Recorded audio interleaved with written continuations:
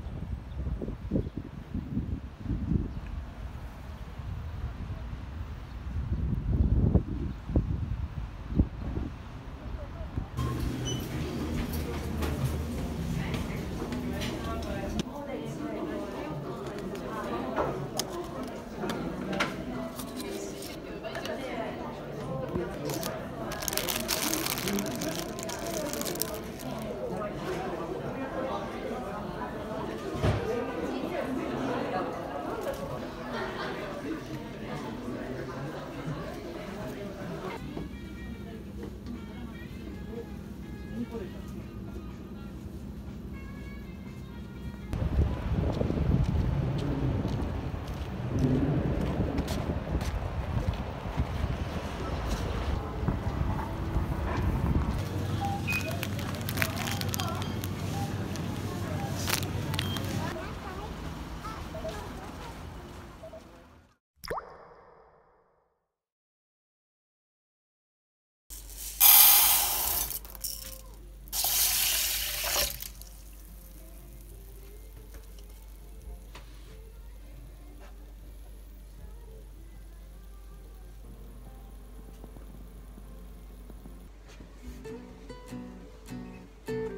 疲れ様です、えー今日は簡単に天津飯作っていきたいと思います。卵がもうそろそろ寿命が近いのでそれを使っていきたいと思います。切るものは、えー豆苗を少し色味で入れるぐらいですかね。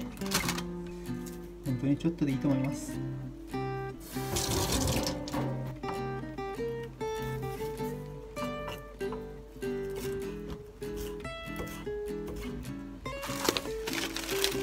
は冷凍の小エビですね。こちら少し入れていきたいと思います。じゃあ卵に入れるので、あんまり形のいいエビは置いておきましょう。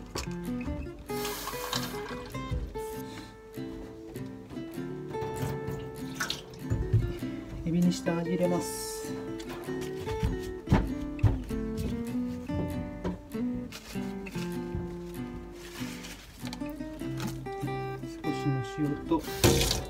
塩コショウですね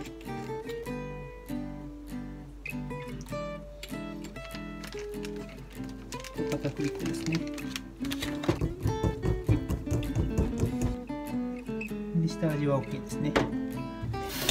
もうそろそろご飯が炊けそうなので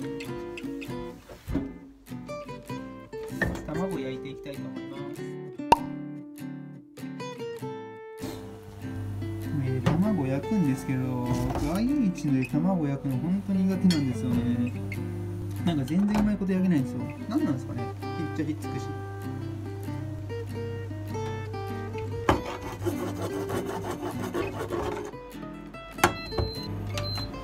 するにやさ やっぱり先にあん作っていきたいと思います。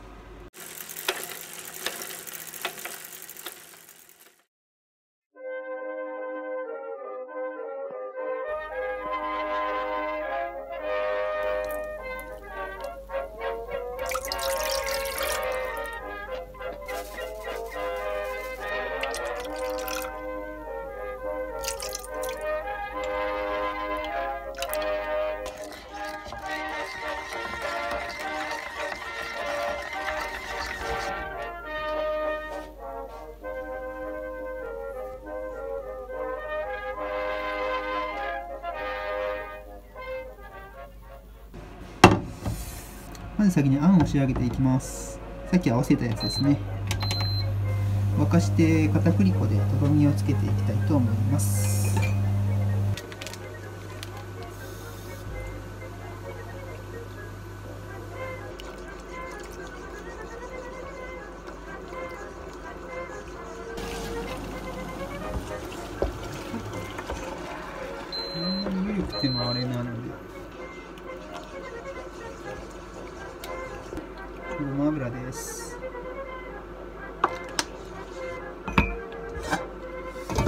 旦置いておきます。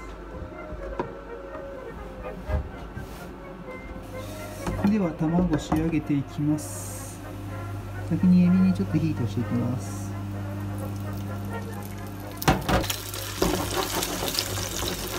少し火が通ったら卵を入れていきます。多分失敗すると思います。あいや逃げそう。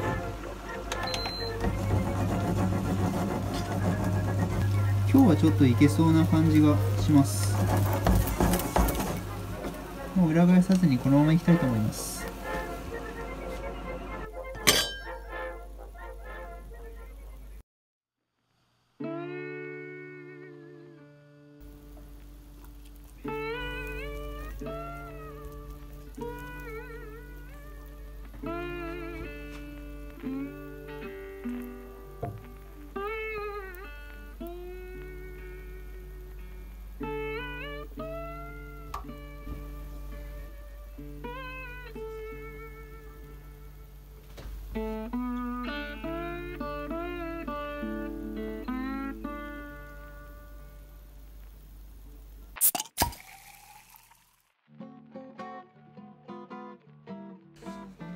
ただきます、はあ、めっちゃうまそうにできたんですけどこれ間違いないでしょうもう。卵焼きで絶対失敗すると思ったんですけどね。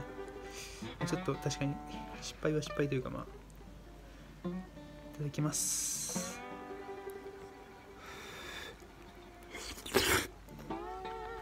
うまい。こ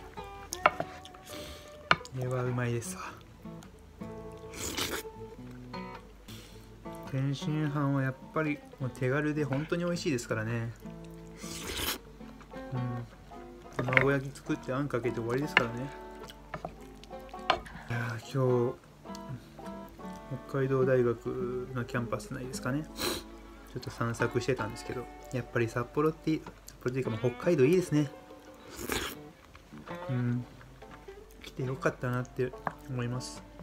と心が浄化されていくのが分かりますもんね。この汚れた歪み切った心は。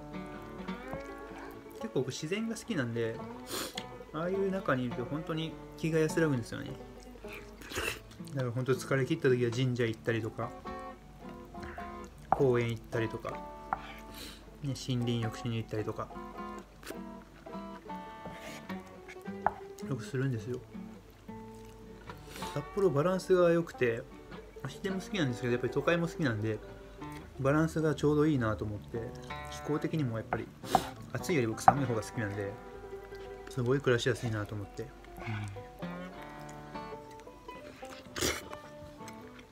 うん、でも本当北海道来てよかったなって思います、うん、もっといろんなとこ見て回ったりいろんなとこ巡ってみたいですね。